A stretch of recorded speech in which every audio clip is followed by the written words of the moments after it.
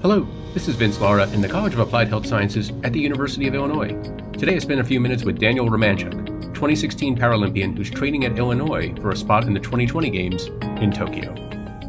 All right, I'm speaking with Daniel Romanchuk, who is a 2020 Paralympic trainee, hoping to make the team for the Tokyo Games. So, Daniel, you started with the Bennett Blazers, but I want to go back a little bit before that. When did you know that sports was something you wanted to do? Ooh. I've really just so I started with the Bennett Blazers when I was two years old, Mm. and so I've kind of the sports has always just been a part of my life. Um, so I'm not sure if there was ever really a, a moment where I was like, oh, I want I want to, to play sports. I got uh, I got started in wheelchair racing with the Bennett Blazers when Mhm. I was I believe around four years old. Wow. Uh, and so, yeah, I've just been, uh, a lot of it is just, um, with, with that program, a lot of kids just tried everything. Mm. You know, you didn't have to really stay in anything, but you just, you'd try it to see if you'd like it and uh, kind of just go from there. Uh, if you, you know, liked it, you, of course, you can stay in it. And um, also, I think a, a little bit with your, your question, uh, their, their motto is actually uh, tell kids they can before they're told they can't. Wow, that's great. Um, so um, that's just you know we're athletes, and so you know there's never really been to me. I've never you know oh well I can't play basketball. I can't do this. Um, there's really never been any of that uh, really in in my life. hmm Which is great. Um, you're, you're from Maryland, Yep. which is where the Bennett Blazers are located. So, but how did you end up at, at Illinois, training here at Illinois? And, and is it a testament, a testament to Coach Bleakney that you ended up here? Had you known about Coach Bleakney before, you know, getting here? So yeah, so I grew up in Mount Airy, Maryland, Mhm. about a half hour outside of Baltimore, where the sports program was from, Mhm. uh, located, and then uh, it was just over four years ago, I think, that um, I was training all on my own, and I basically had uh, um, we'd eventually gotten in contact. We had uh, looked, or we'd asked the I believe the high performance director at that time um, kind of, you know, are there any training um, facilities or anything that I maybe can go train at? Because I wanted to try and make the 2020 or the 2016 games. Mhm. Um, and so a- after, uh, you know, them kind of looking around a bit, we got put in contact with Adam Bleakney, and so uh, he had uh, let me come out and train. Um, uh, first, kind of intermittently, um, and then we moved out here. Wow. Um, what when you say you were training on your own, like how did you even know how to train? Um. Um, I'd say my mom did a lot of that. Oh, wow. Um, so uh, yeah, we would just basically go out to there was a cul-de-sac um, that I would just do repeats on. It, it was Hmm. a slight hill, and so I'd just go out do repeats of about 200 meters long, and then uh, eventually just going out on the road. Um, just I I would just kind of push. I really Hmm. didn't. I especially did not know any training methods. Right. Didn't know anything about tapering Right. or any of the phases or anything of training, and so we would just kind of go out on rides um, at that point.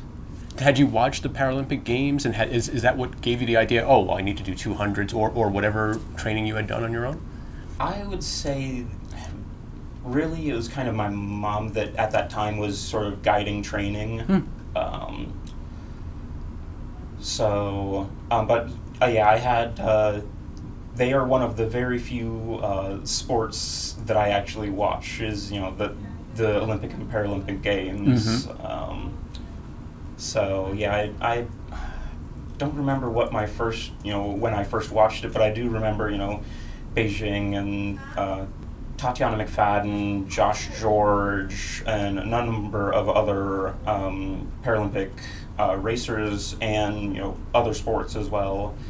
Um, so a number of other athletes had come through the Bennett Blazers Mm. uh, sports program, Okay. and you know they had come back uh, at you know even after they're gone off to you know college or whatever, they would come back every once in a while to kind of just you know come back, course uh, you know say hi and then just uh, help the next generation along.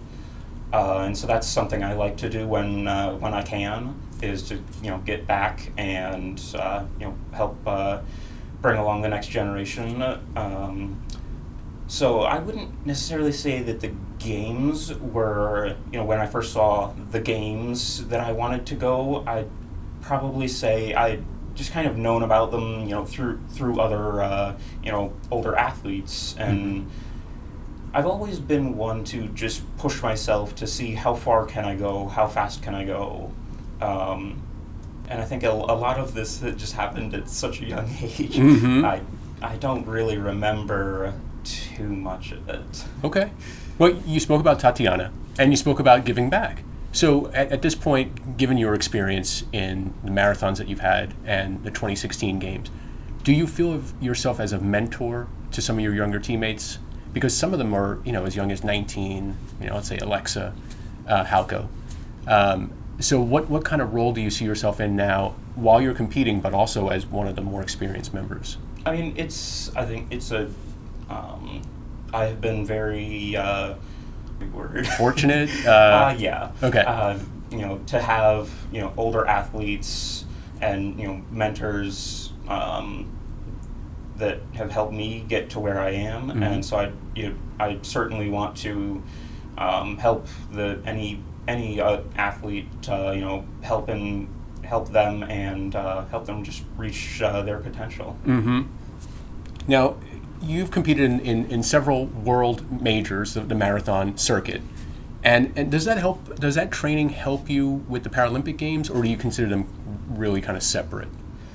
Uh, so there, um, as far as the, the marathon at the games, that certainly does Sure. um, does help because you'll you'll see a lot of the same racers. Um, courses, uh, of course, uh, vary, um, but I would say it does with uh, does help with the marathon. You, you're you're also now training for Dubai. Is that is that a jump a springboard also for 2020?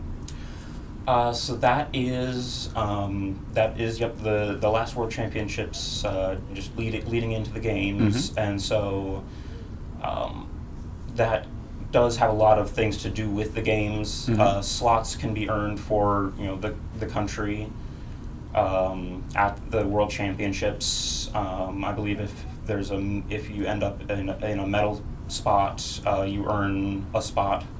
Um, so it uh, certainly is a, a big event going into uh, the 2020. Mm-hmm. So now you know you you've talked about potentially enrolling at Illinois, maybe 2020, 2021. What do you think comes after sport for you? Certainly like to stay in the sport uh, to whatever degree, Mhm. um, you know, as long as I can. Um, one thing I've learned uh, in in racing and just otherwise is I don't know what God has planned for me, and so you know, I I try and not to uh, to make a plan too much and to hold too tightly to it because you know I, I can make a plan for a marathon and it chances are it's going to fall apart somewhere along the way so um, not sure you know where I'll end up Mhm. but I'd certainly like to stay in the sport My thanks to Daniel Romanchuk. This has been A Few Minutes With.